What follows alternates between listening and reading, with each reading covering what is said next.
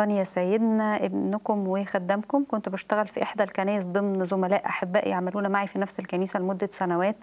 وكان ربنا مدينا نعمة كبيرة في عين سيدنا والآباء في الكنيسة لغاية ما اترسم أب كاهن جديد مسك إدارة الكنيسة وأول حاجة عملها إنه طفش جميع العمال الموجودين من الأول القدام في الكنيسة منذ سنوات بطريقة الضغط علينا سواء في المعاملة وفعلا الجميع ترك الكنيسة وذهبوا إلى أماكن جديدة يشتغلوا فيها وعين ناس تانية بنفسه. لكن المشكلة عندي إن الكنيسة ليست مجرد مكان بشتغل فيه لكن هي اللي كانت بتشتغل فيا.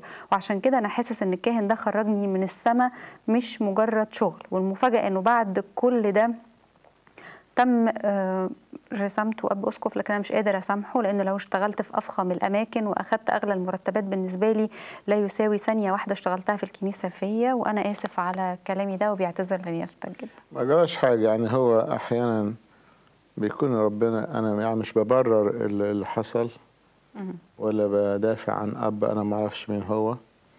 لكن أحيانا الله يستخدم الناس لتحقيق أغراض أنت نفسك تكون لفايدتك.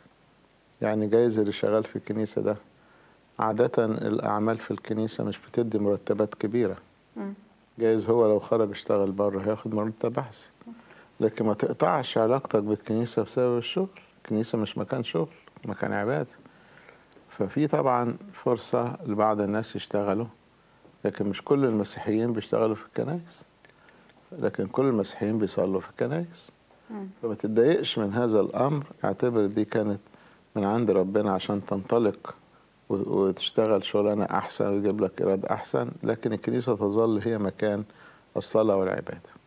يعني أنا بفرح جدا بنفتك وأنت بتطبطب على اولادك حتى لو كانت في حاجة وجعاهم أو جرحاهم من حد من الكنيسة مهما كان هو مين لكن ما تفصلش نفسك عن الكنيسة عشان في حد ضايقك في الكنيسة. آه طبعا. أصل دي أنت عارفة زي ما يكون في ولد رجع من المدرسة متضايق إن في زميله ضايقه أو عايره أو نمر عليه. أيوه. هل نقول له خلاص ما تروحش مدارس؟ لا طبعا.